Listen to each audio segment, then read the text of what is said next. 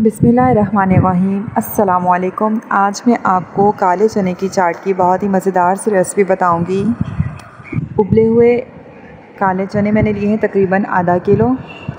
ये कुछ स्पाइसेस है, जिनमें नमक है वन टीस्पून हल्दी है हाफ़ टी स्पून और लाल मिर्चें हैं वन टीस्पून और कुटी हुई लाल मिर्चें हैं हाफ़ टी स्पून हल्दी हाफ़ टी स्पून और धनिया पाउडर वन टेबल स्पून और इसमें ज़ीरा पाउडर है हाफ़ टी स्पून अब इनमें पानी डालकर इनका एक पेस्ट में तैयार कर लूँगी। थोड़ा सा बस पानी डालना है और पेस्ट तैयार करने के बाद साइड में रख देंगे। अब एक कढ़ाई के अंदर मैं तेल डालूँगी थोड़ा सा और तेल डालकर मैं इसके अंदर एक खाने का चम्मच ज़ीरा डाल दूँगी, साबुत ज़ीरा।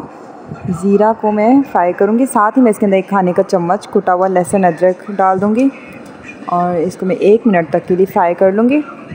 अब इसके अंदर मसाले का पेस्ट मैं डाल दूँगी जो मैंने तैयार किया है। और इस मसाले को डालने के बाद थोड़ा सा मैं इसको भूनूँगी तेल में।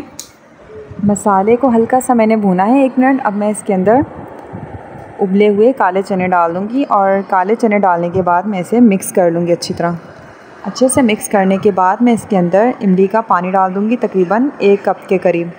पानी डालकर अच्छे से मिक्स करूँगी और तेज़ आँच पर मैं भूनूँगी। हमने इसका पानी खुश्क करना है।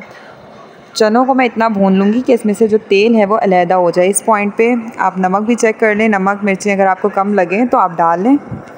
अच्छे से चने को भूनूँगी मैं, जब तक इसमें से तेल अलहदा ना हो जाए, पानी इसका खुश्क ना हो जाए इमली का। तो आप देख सकते हैं, इमली का पानी तकरीबन खुश्क हो चुका है। फ्लेम को मैं ऑफ़ कर दूँगी और चनों को जो है मैं ठंडा कर लूँगी। इसके बाद मैं इसके अंदर वेजिटेबल्स डालूँगी। अगर गर्म में मैंने वेजिटेबल्स डाल दी तो सारी सब्ज़ियाँ जो है वो नरम हो जाएँगी। सब्ज़ियाँ मैं इसके अंदर लूँगी प्याज खीरा और टमाटर और हरा धनिया, हरी मिर्चें, जो कि मैंने डाल दी हैं। इसका क्लिप मुझसे मिस हो गया है और सब्ज़ियाँ डालकर अच्छे से मिक्स कर लें और आप इसे सर्व करें। इसके ऊपर चाहे आप इमली की चटनी डालकर खाएँ, चाट मसाला डालकर सर्व करें, बहुत ही मज़े के बने। तो उम्मीद है आपको रेसिपी पसंद आई होगी। वीडियो पसंद आई हो तो इसे ज़रूर लाइक करें। चैनल पर नए तो चैनल क्लास में सब्सक्राइब करें। Thank you.